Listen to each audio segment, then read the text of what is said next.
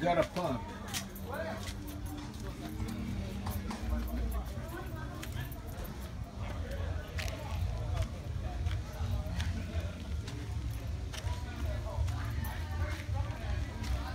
I already drained some water.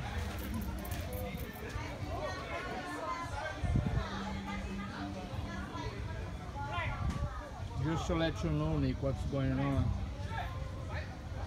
Alright, I'll keep in touch.